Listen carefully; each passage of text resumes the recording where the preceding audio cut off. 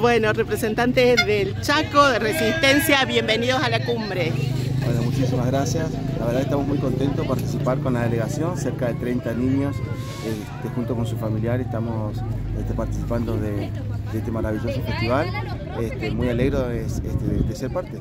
¿Es la primera vez que vienen o ya vinieron otras ediciones? La segunda vez que venimos, en el 2009 tuvimos la oportunidad de llegar con un grupo de 12 bailarines, hoy estamos llegando con 30 bailarines, un grupo más numeroso y, y siempre con, con, el deseo de, este, de, volver.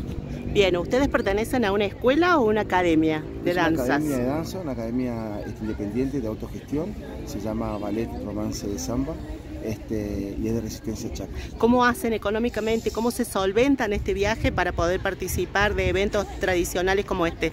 Bueno, eh, este, como en esta oportunidad y como en tantas otras oportunidades, siempre es un trabajo de autogestión, el trabajo de vender rifa, vender, este, vender pollo, vender pastelitos, un montón de actividades propias del bailarín folclórico este, que, que, que, bueno, este, que necesita solventar su gasto para esto. ¿no? ¿Las danzas que van a presentar? Bueno, estuvimos ya compitiendo este, el, el, jueves y el viernes con cuadros este, tradicionales y cuadros este, estilizados. En esta oportunidad estamos por participar en el desfile este, artístico que propone el festival, eh, pero hemos traído danzas del litoral argentino como el chamamé, el balseado y danza del monte chaqueño como la chacarera del monte y el gato del monte. Bien, muchas gracias y bienvenidos. Bueno, muchísimas gracias. Gracias, gracias chicos.